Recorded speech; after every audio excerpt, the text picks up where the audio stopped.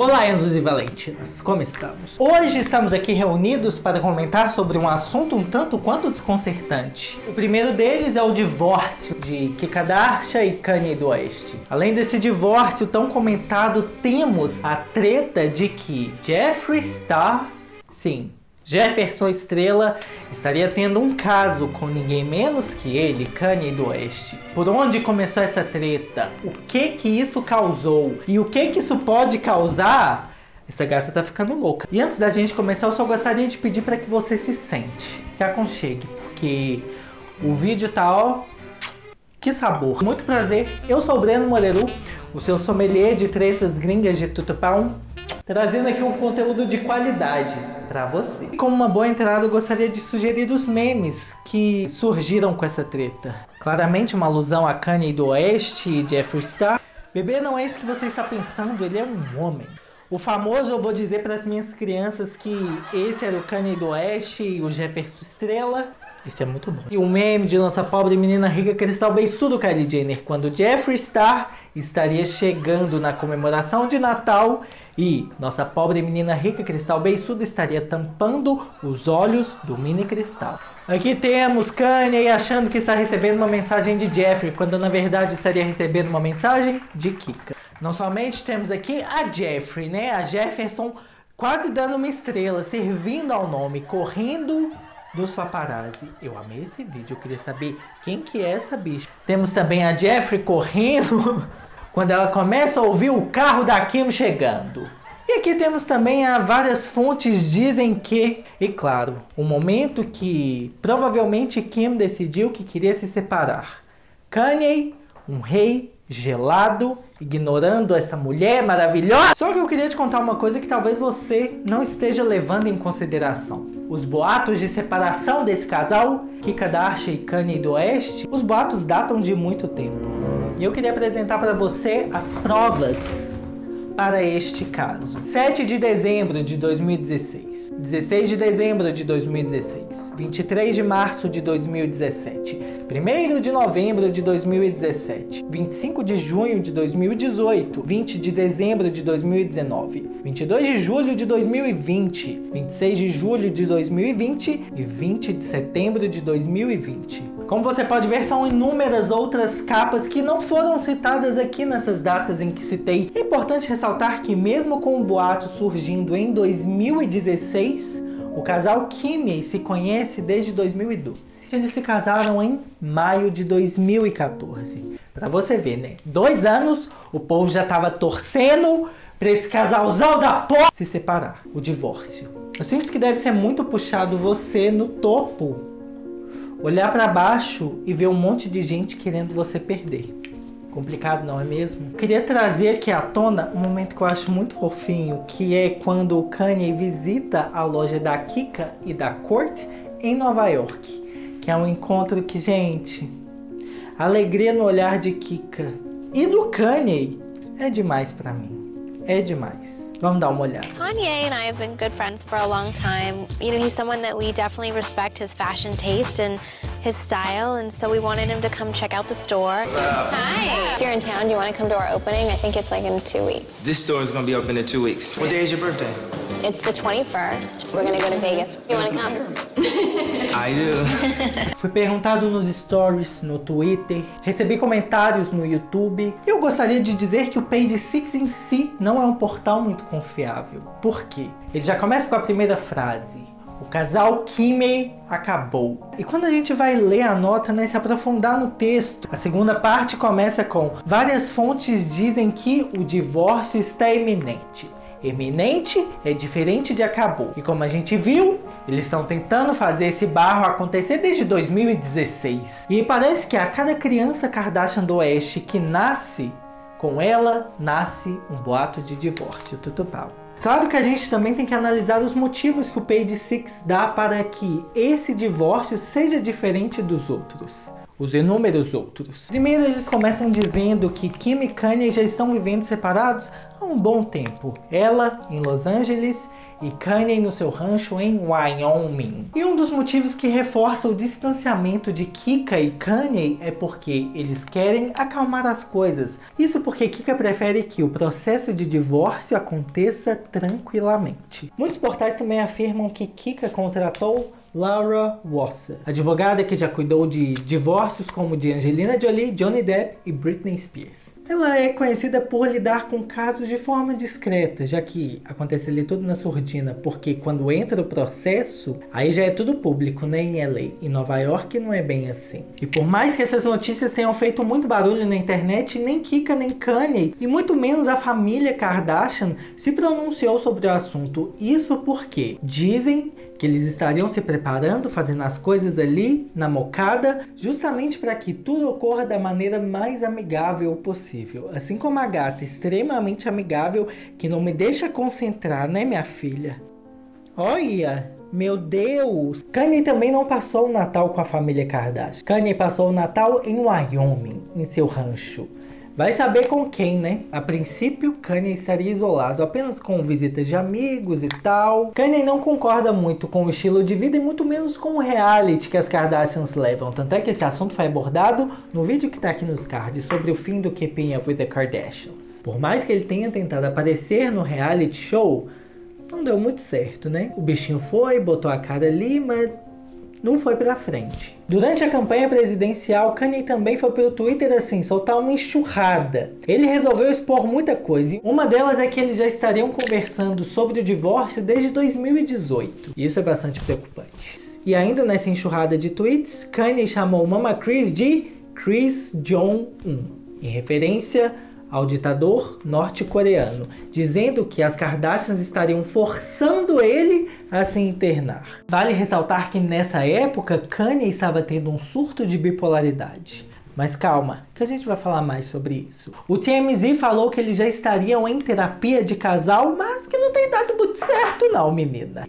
E no aniversário de 40 anos de Kika Darsha, que ela comemorou numa ilha paradisíaca, que ela reservou a ilha, alugou a ilha inteira Kanye apareceu por um dia. Para tentar compensar essa ausência, que, segundo ele, foi por motivos de trabalho, ele deu para ela um holograma do pai. Tirando a parte que ele usa o holograma para se elogiar, foi um gesto bonito. Mas será que isso compensa a falta dele, marido, na festa da esposa? Sem se contar que essa também não é a primeira que Kanye não comparece por Kim, mas Kim sempre comparece pelo Kanye. Por exemplo, ir para Paris, o desfile de moda dele. E eu acredito que a Kika já tá meio farta dessa situação, né? Afinal, cadê a reciprocidade? Cadê o acolhimento do casal? Porque enquanto Kika apoia as escolhas e os projetos do marido, o mesmo não está fazendo o mesmo para Kika Tutupau. Sem se contar a famosa foto deles discutindo no carro.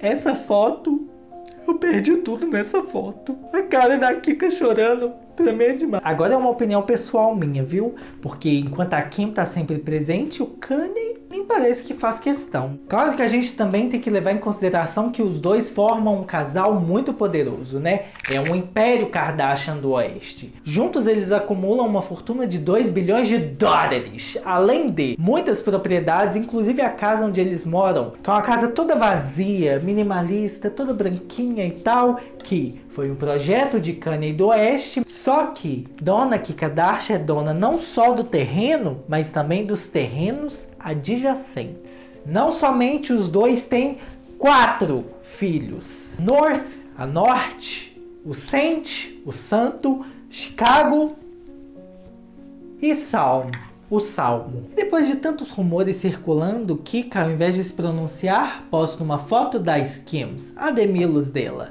E na segunda foto, a gente tem um detalhe muito preocupante. Muito preocupante. Porque na primeira foto aqui, ó, a gente vê o quê? A família e Kika portando um anel. Um anel fininho que deve ter muito dinheiro ali, né, menina? Recentemente, Kika apareceu sem esse anel, de mão limpa, dedo vazio.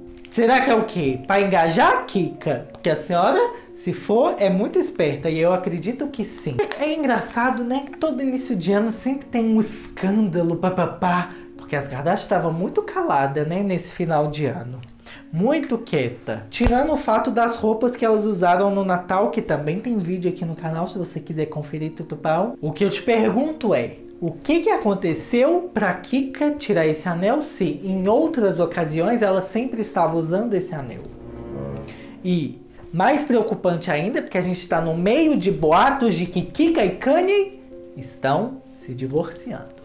Outro detalhe importante é que Kika está tentando fazer tudo da maneira mais tranquila possível para evitar que Kanye saia do controle, que ele se torne agressivo e queira exigir coisas que ela não está afim de abrir mão, como por exemplo a guarda dos filhos. E eu tenho certeza que para garantir a guarda dos filhos, a Kika vai fazer de tudo. Quiçá diminuir o preço da Demilos dela, que outra é caro, né? Eu não sei se já foi procurar, mas eu fui. E eu achei muito caro. Sinceramente, Kika. Não somente o Daily Mail já está dizendo que o Kanye está com planos de se mudar para Londres, porque ele vê o futuro dele lá. Enquanto que a Kim só decidiu tomar essa decisão porque ela está pronta para um novo começo. Depois de seis anos de casamento, muita coisa mudou, né? Kika se tornou uma influência da moda, está seguindo com a carreira de advogada, concomitantemente a carreira de empresária e o seu projeto de reforma prisional nos Estados Unidos de Tutupau. Não somente para terminar, segundo o portal Mirror, Kanye estaria fazendo pequenos ajustes no seu CD, o décimo CD de sua carreira, para incluir detalhes sobre o seu divórcio com Kika Darsha. Mirror, eu fico me perguntando, que fontes são essas? Me traz essas fontes. Porque é muito engraçado, né? E claro que, com tantas informações escalafobéticas em torno deste caso, Enzo e Valentina, você acha que eu ia deixar de fora essa treta com a Jeffrey? Não! Tudo começou no TikTok com a tal da espalhando um boato de que há muito tempo ela vem segurando essa informação de que Kanye estaria envolvido romanticamente com um maquiador. Um maquiador muito famoso. E aí as pessoas comentaram inúmeros nomes, entre eles Jefferson Estrela. E o que, que a dona do TikTok fez? Foi lá e curtiu o comentário. Isso foi o suficiente para o povo entender que isso era um sim. Claro que as fanfiqueiras pensaram, Deixa comigo, né? Kanye está morando em Wyoming. Jeffrey está morando em Wyoming. Eles estão juntos. A Jeffrey tem uma música lá de 2019, a Beach Please, em que ela fala aqui que ela fez um atendimento no Kanye e agora eles são bros. Se você não sabe o que é atendimento, não procura no Google. Ressuscitaram um tweet de quem? Da Jeffrey falando que Kanye, a noite passada foi ótima. E o que coloca mais lenha na fogueira é que a Jeffrey deletou esse tweet. Já não bastasse o tanto de gente nessa treta, colocaram ela, a maior barraqueira de todas, a Azealia Banks, falando que o Kanye tá no armário, que ele usa essa coisa de igreja dele para servir de escudo, porque ele não se aceita. E que ela tem um monte de coisa homo para falar sobre ele. Homo de homossexual. Aqui não é publi para aquele sabão. E por último, resolveram trazer para essa fogueira aqui um tweet da Amber Rose, que foi quem? A ex do Kanye, dizendo que ele gosta de uma dedada no Segundo ela, ele gostava bastante. Claro que a dona Jefferson Estrela aproveitou todo o engajamento ali com o nome dela. E aí, o que, que ela fez? Postou essa foto com a legenda pronta para o Sunday Service, que o Sunday Service é o quê? Que é nada menos que o culto dominical de Kanye do Oeste. E não somente a Jefferson Estrela foi lá e postou esse vídeo se pronunciando sobre essa situação do Kanye. E ó, ela não revelou muita coisa não, viu? Falou, sei lá, uma bobagem aqui, outra bobagem ali e fez um vlogão que ela tá acostumada a fazer sempre, falando por que, que ela se mudou para Wyoming, que lá é mais tranquilo, mais relax. Dizem que essa terra de Wyoming é uma terra rica e que os ricos estão tudo se mudando para lá para né, expandir o portfólio de investimentos. Mas que ela não tem nada a ver com o Kanye. Só que nesse caso não bastou só a Jeffrey desmentir um boato que começou no TikTok. Agora o nível vai descer porque o que mais me espanta é a credibilidade que o povo dá para uma TikToker que não há muito tempo estava lambendo assento de privada para ganhar atenção para divulgar a música que ela tinha lançado. Suspeito, não? Tudo para ter 15 segundos de fama. E dessa vez foi diferente? Não! Se você for lá no perfil do TikTok dela e ver o que, que ela posta, que eu nem vou me dar o trabalho de mencionar o arroba dela, porque nesse canal a gente faz um trabalho sério. Lá, ela só faz conteúdo de Kardashian. Querida, a única pessoa que está autorizada a viver de Kardashian nessa internet Sou eu. Tenho muita conta pra pagar. Dito isso, essa menina, ela afirmou que ela já ganhou 20 mil dólares em cima dessa treta, desse boato que ela inventou. Disse que Mama Chris estava processando ela e que ela recebeu uma ordem judicial obrigando a se desculpar pessoalmente a Kika. Logo depois ela postou esse áudio desmentindo tudo. Not even getting sued. I made this entire scandal up. There is literally not one bit of truth to anything I have said. I just tricked the entire world into talking about me again. We all had fun though, didn't we? You're welcome for the memes. E aí que, se essa menina ganhou 20 mil com essa treta, a Jeffrey, as fotos anterior dele tinha 500 mil curtidas. Com a do Kanye, ele ganhou 1 milhão de curtidas na foto. O nome das Kardashians voltou a circular.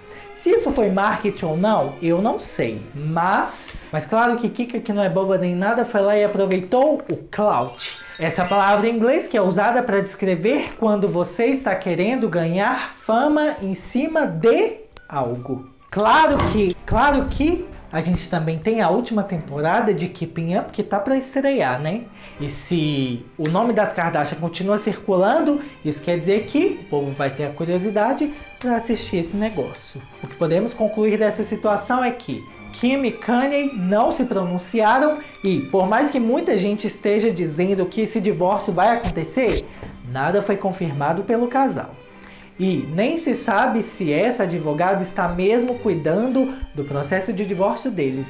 Porque Kika também é uma advogada. Vai que ela contratou essa mulher para servir de tutora dela. E quanto ao negócio da Jeffrey, eu também acho que eles não tiveram nada não. Pelo que a Jeffrey falou no vídeo dela, né? E aí, Enzo e Valentina, eu te pergunto, você acha que Kim e Kanye estariam só passando por uma fase ruim ou nada está acontecendo, eles só estão de férias da cara um do outro? Ou será que as coisas estão sérias mesmo e o divórcio vem aí? E não somente. Você acha que o Kanye realmente teve um caso com meninos? É o que eu quero saber de você. E o mais engraçado é que já estamos em 2021. Você pode emitir a sua opinião sem necessariamente embutir na sua opinião um preconceito, não é mesmo? Me segue lá no Instagram, arroba Breno e no Twitter, arroba Breno. Um beijo e te espero no próximo vídeo, neném. Tô me sentindo o próprio moço do Linha Direta.